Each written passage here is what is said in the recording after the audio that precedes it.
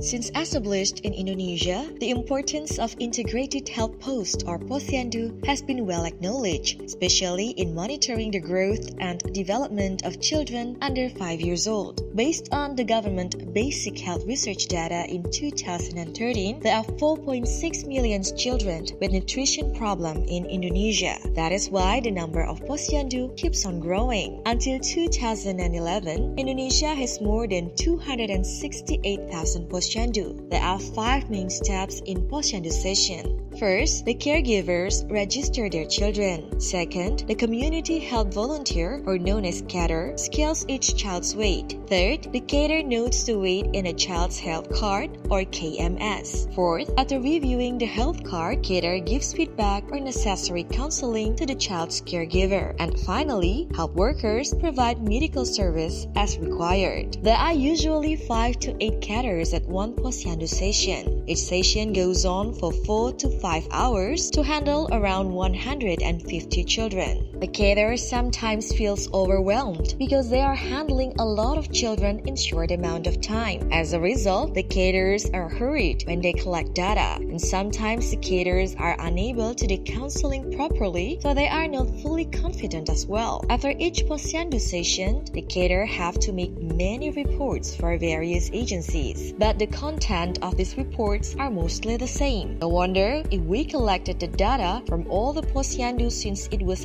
established, it could be as tall as a skyscraper. Because of those various reports, the submission of posyandu data is usually late. This could lead to delay in important decision making that is related in revising the growth monitoring status and counseling.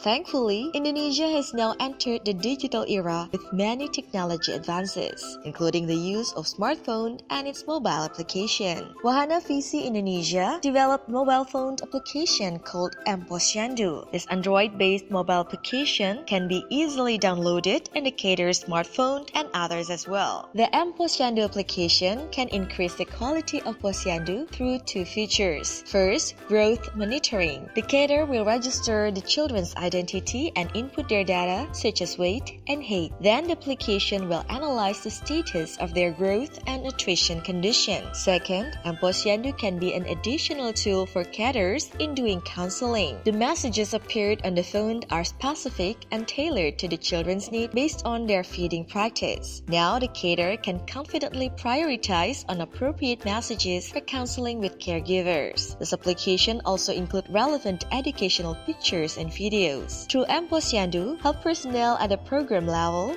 would find it easier in collecting and managing the data.